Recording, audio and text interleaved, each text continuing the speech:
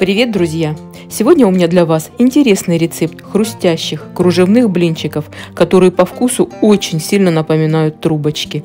Но в тесто для трубочек, чтобы они были хрустящие, обычно добавляют много сливочного масла.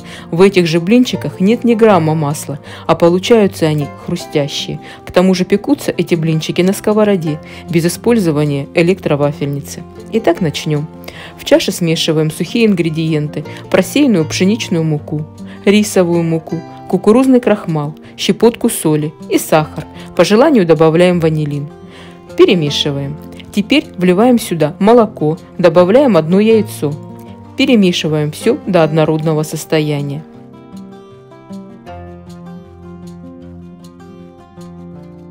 Добавляем растительное масло, только лишь для того, чтобы блинчики не прилипали к сковороде.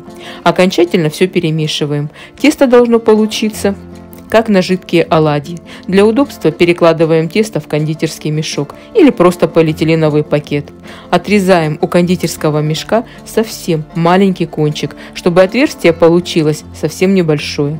Печем блины на среднем огне, так как печь мы их будем всего лишь с одной стороны, и блины должны успеть испечься. Наносим на сковороду произвольный ажурный рисунок. Я сначала делаю каркас в виде спирали, а затем сверху рисунок. Как только тесто станет плотным и не будет э, оставаться на пальце, начинаем заворачивать блинчик. Заворачиваем блинчики сразу, на сковороде. Если блинчик остынет, он станет хрупким, и вы не сможете свернуть его в трубочку. Таким образом печем все блинчики. Сначала блины очень хрупкие. Если дать им постоять при комнатной температуре, они делаются немного мягче. Но если их оставить на столе на более длительное время, блинчики превращаются в очень хрупкие ажурные трубочки. Надеюсь, что вам понравилось. Жду ваших комментариев и подписки на мой канал. Желаю всем здоровья, удачи и приятного аппетита. Пока-пока!